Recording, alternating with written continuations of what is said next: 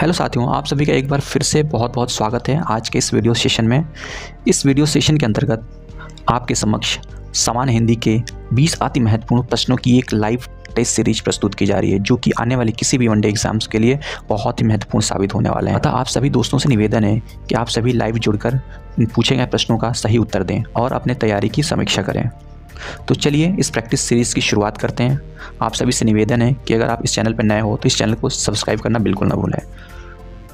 सो so, आज के session की शुरुआत करते हैं। आज के सेशन का पहला प्रश्न है क्वेश्चन नंबर फ़र्स्ट क्या कह रहा है भक्तमाल के रचनाकार कौन है? आपको बताना है जो कृति है भक्तमाल इसके रचनाकार कौन है? आपके ऑप्शन हैं option A Keshav Das option B Nabhadas option C Tulsidas या फिर ऑप्शन डी सूरदास।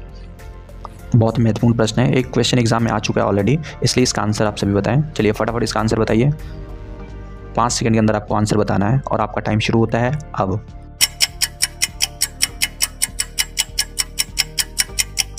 जी हाँ दोस्तों, इसका करेक्ट आंसर हो जाएगा ऑप्शन नंबर बी नाभादास ये नाभादास की एक कृति है। राइट चलिए नेक्स्ट क्वेश्चन पे चलते हैं। Question number second question number second है, उसने नहाकर भोजन किया। एक सेंटेंस दिया हुआ है, एक वाक्य दिया है, उसने नहाकर भोजन किया। आपको बताना है, इस वाक्य में नहाकर, जो नहाकर शब्द है, निम्नलिखित में से किस क्रिया का उदाहरण है? नहाकर कौन सी क्रिया है? आपके ऑप्शन हैं ऑप्शन ए संयुक्त क्रिया ऑप्शन बी प्रेरणार्थक क्रिया ऑप्शन सी द्विकर्मक क्रिया, या फिर ऑप्शन डी पूर्वकालिक क्रिया। चलिए फटाफट इसका आंसर टाइप कीजिए आप सभी कमेंट सेक्शन में। और आपका टाइम शुरू होता है अब।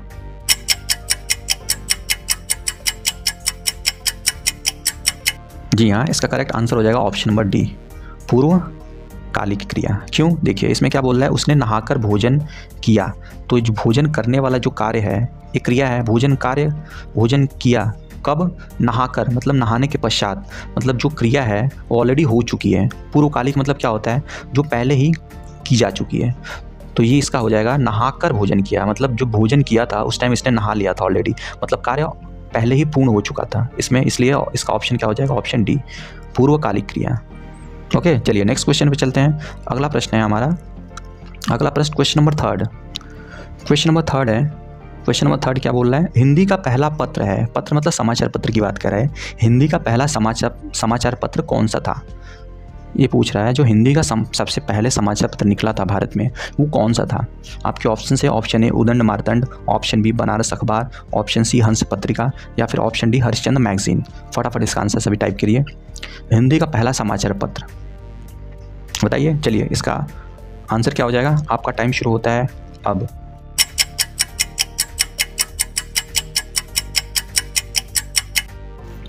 जी हाँ इसका करेक्ट आंसर हो जाएगा ऑप्शन नंबर ए ऑप्शन ये क्या है?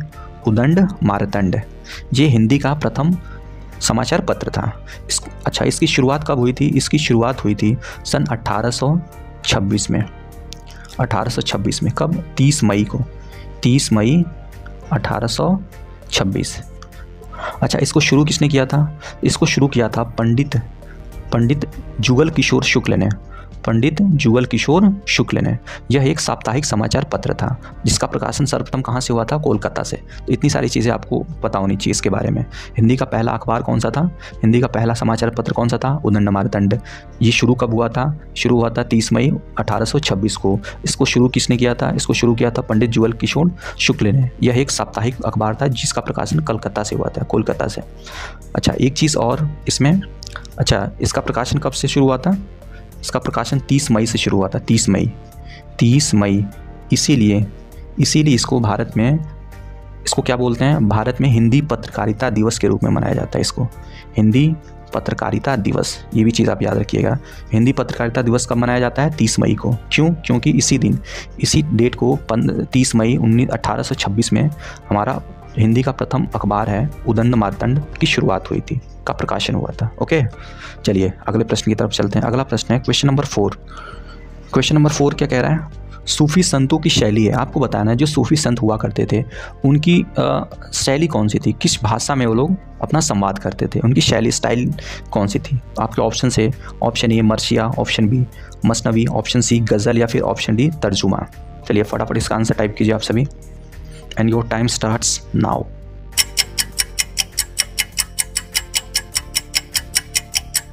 जी हाँ इसका करेक्ट आंसर हो जाएगा ऑप्शन नंबर बी मसनवी। इसको याद रखिएगा। जो सूफी संतों की भाषा हुआ करती थी, शैली हुआ करती थी, उसका नाम था मसनवी।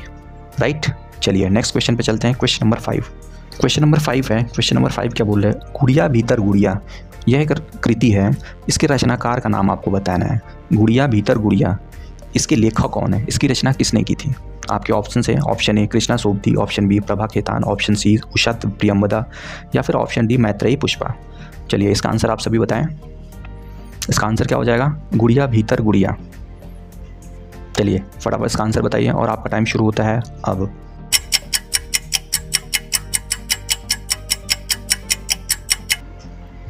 जी हाँ इसका करेक्ट आंसर हो जाएगा option D Maitreyi Pushpa. Option कौन सा करेक्ट हो जाएगा? ऑप्शन डी, मैत्री, पुष्पा। चलिए नेक्स्ट क्वेश्चन पे चलते हैं। अगला प्रश्न है, प्रश्न संख्या छः क्वेश्चन नंबर सिक्स है, छछुंदर के सिर में चमेली का तेल। ये बहुत ही फ़ेमस मुहावरा है, एक लोकोक्ति है। छछुंदर के सिर में चमेली का तेल, इसका मतलब आपको बताना है। ज़्यादातर दोस्तों को इसका मतलब पता होगा। चलिए, आपके ऑप्शन है धान के लिए सुपत्र होना मतलब धन के लिए सुपात्र ना होना। अच्छा इसका अर्थ क्या होता है? पहला ऑप्शन है, धन के लिए सुपात्र ना होना। ऑप्शन बी क्या बोल रहा है? अयोग्य व्यक्ति को उत्तम पद मिलना। ऑप्शन सी क्या है? बिल्कुल अनपढ़ व्यक्ति को धन मिलना। या फिर ऑप्शन डी गंजे व्यक्ति के सिर में सुगंधित तेल लगाना। इसमें से कौन सा इसका श्लोकोक्ति का, कौन सा अर्थ सही है? बिल्कुल। कौन सा ऑप्शन इसका करेक्ट हो जाएगा? छछुंदर के तेल में चमेली का तेल। चलिए फटाफट इसका आंसर बताइए आप सभी। इसका मतलब क्या हुआ? और आपका टाइम शुरू होता है अब।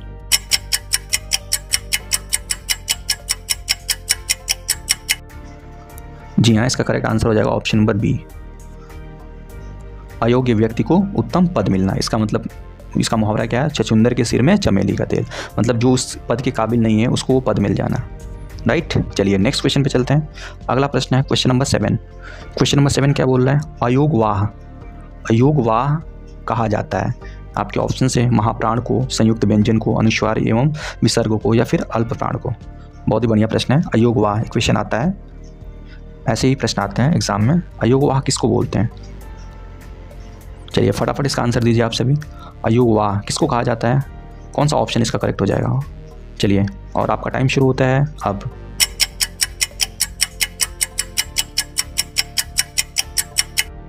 जी हाँ इसका करेक्ट आंसर हो जाएगा ऑप्शन सी अनुस्वार एवं विसर्ग को। इनको बोलते हैं हम अयोगवाह और अंग की मात्रा जो होती है, ये वाली बिंदे।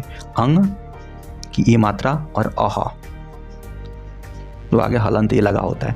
इसको बोलते हैं हम, ये वाला जो बिंदी ऊपर लगी होती है किसी भी वर्ण के ऊपर, इसको बोलते हैं अनुस्वार। इसको बोला अनुस्वार।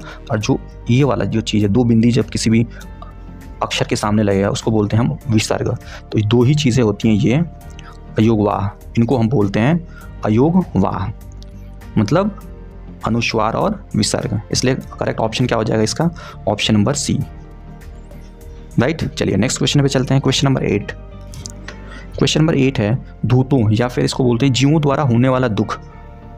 जीवों द्वारा होने वाले दुख को एक शब्द में आपको बताना है, जो किसी भी जीव द्वारा अगर कोई दुख हो, उसको क्या बोलते हैं? हम धूतों द्वारा होने वाले दुख को। के लिए एक शब्द क्या है? ऑप्शन ए है आदि दैविक ऑप्शन बी आदि भौतिक ऑप्शन सी आदि दैहिक या फिर ऑप्शन डी आत्मघातिक। चलिए फटाफट इसका आंसर बताइए। जीवों द्वारा होने वाला दुख, इसके लिए एक शब्द कौन सा हो जाएगा? कौन सा इसका ऑप्शन करेक्ट हो जाएगा? चलिए फटाफट आंसर बताइए, आपका टाइम शुरू होता है अब।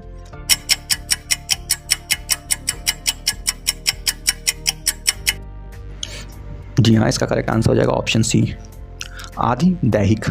इसका मतलब होता है धूतों अर्थात जीवों द्वारा होने वाला दुख। राइट चलिए नेक्स्ट क्वेश्चन पे चलते हैं। नेक्स्ट क्वेश्चन है question number nine question number nine क्या बोल रहा है? पंकज। पंकज में कौन सा समास है?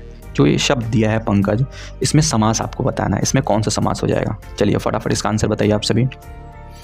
कौन सा इसका ऑप्शन सही हो जाएगा? ऑप्शन ए है द्विगु समास ऑप्शन बी है कर्मधारय समास ऑप्शन सी है बहुब्रीही समास या फिर ऑप्शन डी तत्पुरुष समास। फटाफट आंसर टाइप कीजिए और आपका टाइम शुरू होता है अब।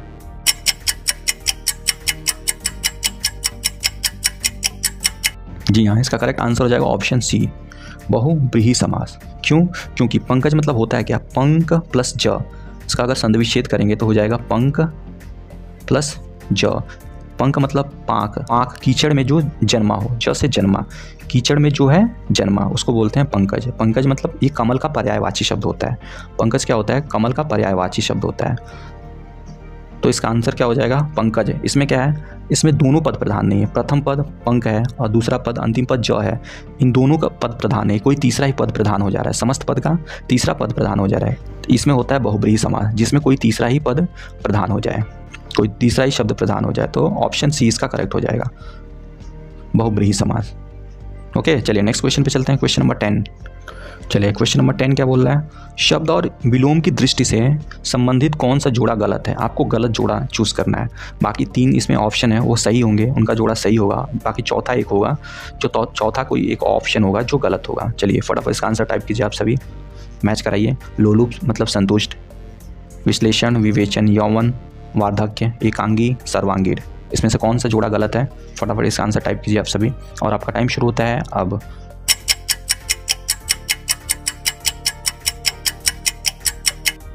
जी हाँ इसका करेक्ट आंसर हो जाएगा ऑप्शन बी विश्लेषण का विवेचन नहीं होता है, इसका विलोम होता है संश्लेषण। संश्लेषण। विश्लेषण का विलोम क्या होता है? संश्लेषण। बाकी लोलुप लोलुप मतलब क्या होता है? लालची। इसका उल्टा हो जाएगा संतुष्ट। ये भी सही है। ये सही हो जाएगा। विश्लेषण का विवेचन नहीं, संश्लेषण होता है। बाकी यौवन मतलब होता है वार्धक्य मतलब बूढ़ापा। तो ये भी मैच कर रहा है। विलोम। एकांगी मतलब एकांगी का विलोम क्या होगा? सर्वांगीण, ये भी सही है। बाकी तीसरा ये जो ऑप्शन है, गलत है, जो कि ये इसका करेक्ट ऑप्शन हमारा हो जाएगा। ऑप्शन बी टेन का option B is the correct चलिए नेक्स्ट क्वेश्चन पे चलते हैं। अगला प्रश्न है question number eleven question number eleven क्या है? सुषमा। सुषमा का संधि विच्छेद क्या है? बहुत ही बढ़िया प्रश्न है। चलिए, ये क्वेश्चन पक्का एग्ज़ाम में आने वाला है। चलिए, बताइए आप सभी, इसका संधि विच्छेद आपको बताना है। बहुत ही ट्रिकी क्वेश्चन है। एक छोटी सी गलती हुई और आपका आपका प्रश्न गलत हो जाएगा पूरा। सुषमा, आपके ऑप्शन क्या है? सु प्लस समा। समा में छोटा सा इसमें। ऑप्शन बी में सु प्लस शमा। शमा में षटकोड़ा वाला श है। मूर्धन्य श इसको बोलते हैं। ऑप्शन बी ऑप्शन सी में सुह प्लस क्षमा या फिर ऑप्शन डी में सु प्लस क्षमा चलिए, इसका आंसर बता दीजिए आप सभी। कौन सा इसका करेक्ट आंसर हो जाएगा? सुषमा का करेक्ट संधिविच्छेद कौन सा हुआ? चलिए, फटाफट आंसर बताइए और आपका टाइम शुरू होता है। अब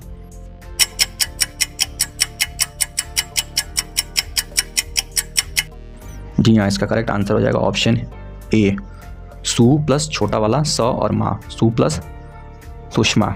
ये होता है इसका करेक्ट आंसर इसको ध्यान रखिए, अच्छे से एक बार पढ़ लीजिएगा। सुषमा में अगर संधि विच्छेद उसका करेंगे तो सु प्लस छोटा वाला स और माँ। सुषमा सुषमा। ओके चलिए नेक्स्ट क्वेश्चन पे चलते हैं। Question number twelve question number twelve है अली। अली का पर्यायवाची शब्द नहीं है। आपको बताना जो अली है, किसका पर्यायवाची शब्द नहीं है। बाकी तीन ऑप्शन है, वो अली के पर्यायवाची हैं। बाकी एक ऑप्शन जो होगा, जो अली का पर्यायवाची नहीं होगा। चलिए फटाफट इसका आंसर बता दीजिए। कौन सा ऑप्शन इसका करेक्ट हो जाएगा? और आपका टाइम शुरू होता है अब।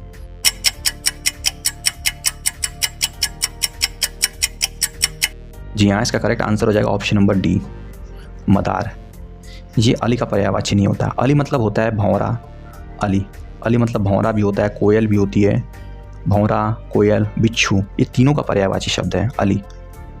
लेकिन मदार मदार इसका पर्यायवाची क्या होता है? अर्क होता है अर्क या फिर सूर्य का जो पर्यायवाची अर्क या आक आक बोलते हैं, या अकौआ या फिर इसको मंदार भी बोलते हैं। मंदार का भी पर्यायवाची है। मंदार। अली किसका पर्यावाची मदार का पर्यावाची नहीं है। सो इसी, यही इसका आंसर हो जाएगा। चलिए, अगले प्रश्न की तरफ़ चलते हैं। अगला प्रश्न है question number thirteen question number thirteen क्या बोल रहे हैं? उल्टी माला फेरना। इस मुहावरे का मतलब आपको बताना है। उल्टी माला फेरना। आपके ऑप्शन से अनिष्ट की कामना करना, मूर्खता भरे कार्य करना, अनुभव प्राप्त करना, या फिर किसी कार्य को अधूरा छोड़ देना। चलिए, इसका आंसर आप सभी बताएँ। उल्टी माला फेरना। इसका मतलब क्या होता है? कॉमेंट सेक्शन में इसका आंसर बताइए। और आपका टाइम शुरू होता है अब।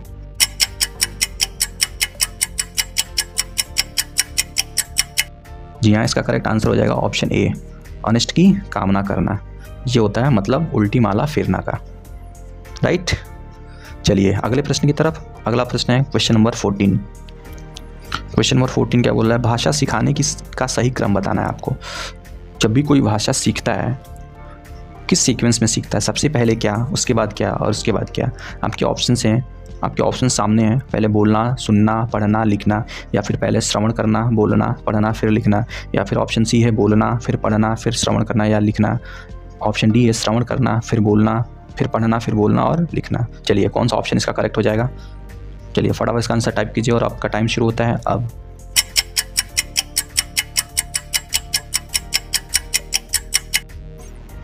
जी हाँ इसका करेक्ट आंसर हो जाएगा ऑप्शन नंबर बी पहले सुनना, फिर उसके बाद बोलना, उसके बाद पढ़ना, उसके बाद लिखना, ये कैसे याद करेंगे? देखिए, जब भी कोई छोटा बच्चा होता है, सबसे पहले क्या करता है?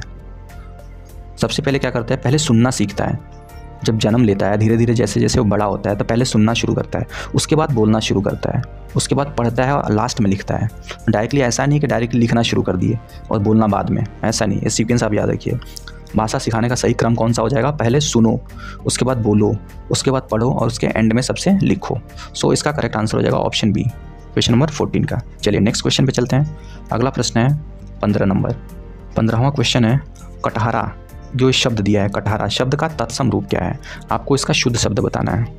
कटहरा एक तत्व, कटहरा एक तद्भव शब्द है। तद्भव मतलब होता है अशुद्ध या फिर देशज, देसी।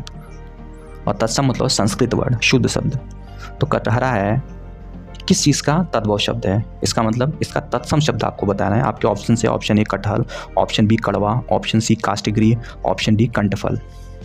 चलिए, इसका तत्सम रूप कौन सा है कटहरा का? इसका आंसर आप सभी बताएँ और आपका टाइम शुरू होता है अब।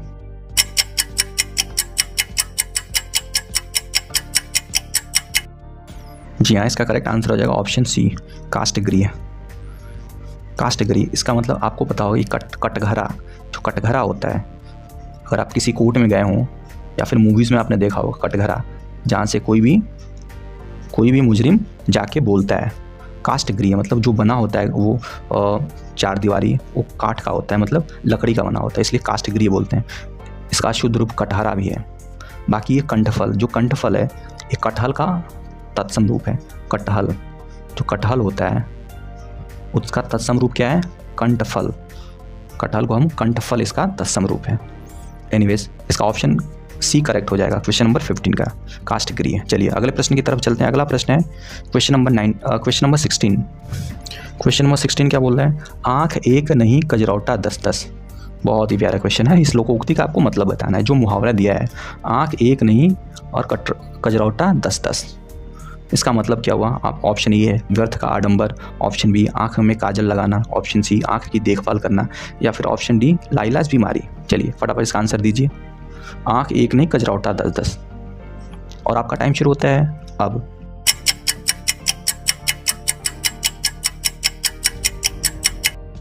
जी हाँ इसका करेक्ट आंसर हो जाएगा ऑप्शन ए व्यर्थ का आडंबर।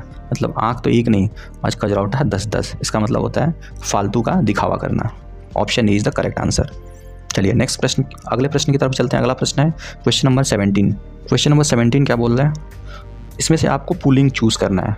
जो शब्द दिए हैं ऑप्शन ए है रात ऑप्शन बी बात ऑप्शन सी गीत, या फिर ऑप्शन डी मात। इसमें से पुलिंग शब्द कौन सा है? चलिए, बताइए फटाफट। पुलिंग शब्द कौन सा है? कौन सा ऑप्शन इसका करेक्ट हो जाएगा? चलिए, पाँच सेकंड के अंदर आप सभी आंसर दीजिए। और आपका टाइम शुरू होता है अब।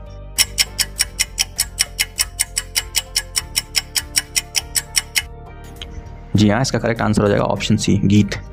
गीत है, ये एक पुलिंग है, बाकी रात, बात और मात तीनों स्त्रीलिंग है। इसको पहचानने की ट्रिक मैंने बताया थी, इसको आप वाक्य में प्रयोग करके देख लीजिए। गीत गाया जाता है, गाई जाती नहीं है, गीत गाया जाता है, शुद्ध है। ऐसे ही अगर आप रात होती है, बात बोली जाती है, वैसे ही अगर यूज़ करेंगे आप सेंटेंस किसी वाक्य में तो आपको एहसास होगा कि जो गीत है, वो पुलिंग शब्द है। सो क्वेश्चन नंबर सेवेंटीन का आंसर क्या हो जाएगा? ऑप्शन सी गीत चलिए नेक्स्ट क्वेश्चन पे चलते हैं। Question number eighteen number eighteen है। क्वेश्चन नंबर एटीन क्या बोल रहे हैं? आचरण की सभ्यता के निबंधकार हैं। आपको बताना है, आचरण की सभ्यता नामक जो निबंध लिखा गया है, उसको किसने लिखा है? आपके ऑप्शन हैं। Option A Bharatendu Harishchandra.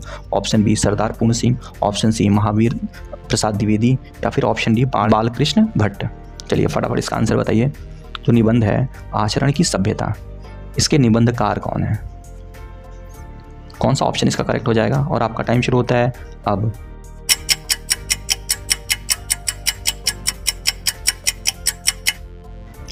जी हाँ इसका करेक्ट आंसर हो जाएगा ऑप्शन बी सरदार पूर्ण सिंह।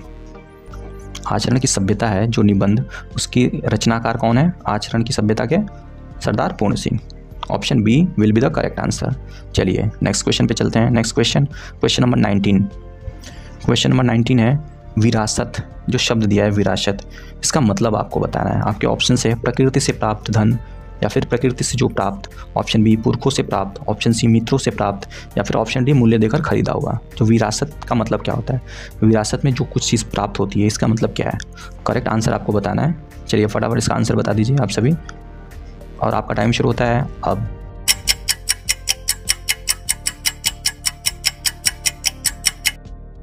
जी हाँ इसका करेक्ट आंसर हो जाएगा ऑप्शन बी पुरखों से प्राप्त। जो पुरखों से प्राप्त होती है, उसको बोलते हैं विरासत में प्राप्त। ओके चलिए नेक्स्ट क्वेश्चन पे चलते हैं। आज के सेशन का अंतिम प्रश्न question number twenty question number twenty क्या है? हिंदी का प्रथम मौलिक उपन्यास किसे माना जाता है? बहुत इंपॉर्टेंट क्वेश्चन है मोस्ट मोस्ट इंपॉर्टेंट हिंदी का पहला मौलिक उपन्यास किसे माना जाता है? आपके ऑप्शन है option A Nutan Brahmachari option B Titli option C Tyagpatra, या फिर ऑप्शन डी परीक्षा गुरु चलिए फटाफट इसका आंसर आप सभी बताएँ। हिंदी का पहला मौलिक उपन्यास कौन सा है? आपका टाइम शुरू होता है, अब।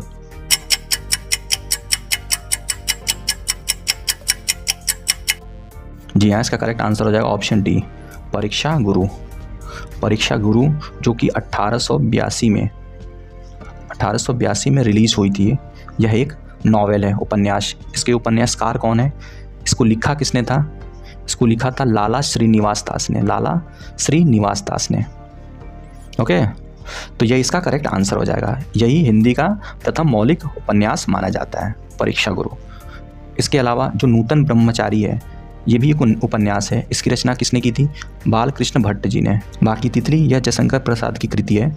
जयशंकर प्रसाद। इसकी रचना किसने की थी? जयशंकर प्रसाद। और लास्ट जो त्यागपत्र है तो त्यागपत्र के रचनाकार कौन थे? जैनेन्द्र कुमार। त्यागपत्र को किसने लिखा था? यह भी एक, क्या है? उपन्यास है।